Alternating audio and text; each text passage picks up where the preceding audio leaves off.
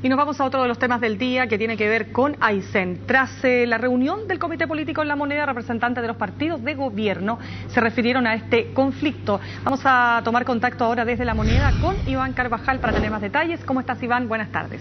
Hola, muy buenas tardes. El desbloqueo de calles en la región de Aysén y de las rutas sigue siendo la primera exigencia del gobierno a los movilizados en Aysén para poder iniciar el diálogo y así lo expresó nuevamente el ministro de Energía, Rodrigo Álvarez, quien desde muy temprano estuvo en el Palacio de la Moneda junto a la intendenta de Aysén, Pilar Cuevas, en distintas reuniones con los ministros del área política, también con el presidente de la República para dar cuenta de la situación en Aysén lo mismo hicieron a eso de las 11 de la mañana cuando entraron al eh, tradicional comité político de los lunes que hoy se retomó luego del periodo de vacaciones. Estuvieron los ministros del área política junto a Rodrigo Álvarez y Pilar Cuevas, también los parlamentarios y presidentes de partido tanto de la UDI como Renovación Nacional analizaron, por cierto, el escenario y tras este comité político se reiteró la posición del gobierno de pedir que se desbloqueen las calles. Sobre la mesa también está la idea de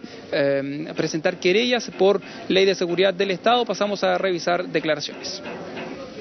Estamos absolutamente disponibles para ese diálogo, para conversar de cada uno de los puntos de este petitorio muy amplio que ha presentado la comunidad de Aysén.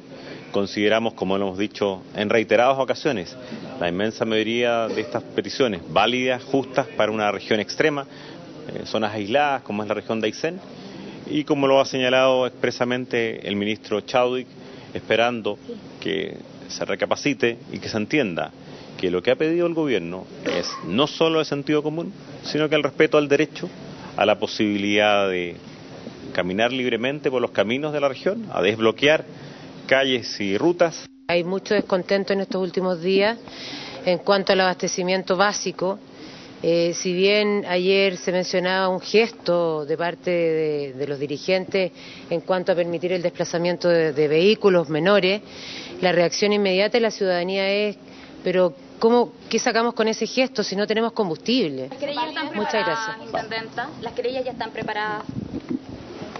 No es algo que pueda, por ahora, es lo que vamos a ver durante el día.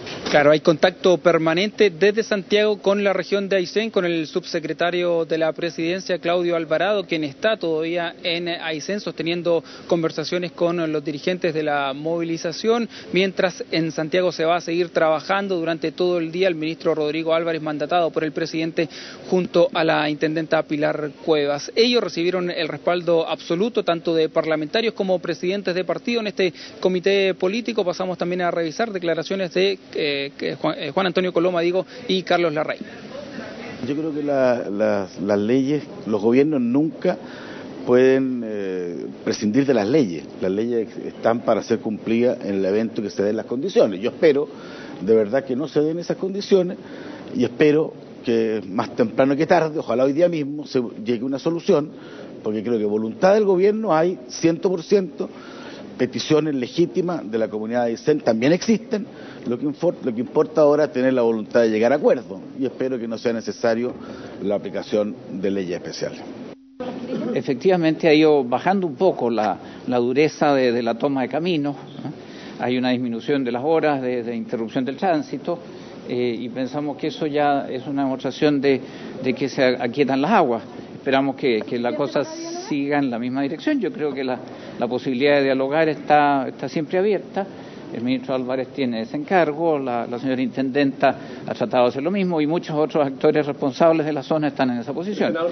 A la salida del comité político también se reiteró esta idea de anunciar un paquete de medidas, de 50 medidas para poder eh, reforzar la regionalización que va en beneficio no solo de Aysén, sino que también de otras zonas extremas del país, medidas que eh, dijeron se van a dar a conocer muy pronto, pero no especificaron un plazo, Mirna.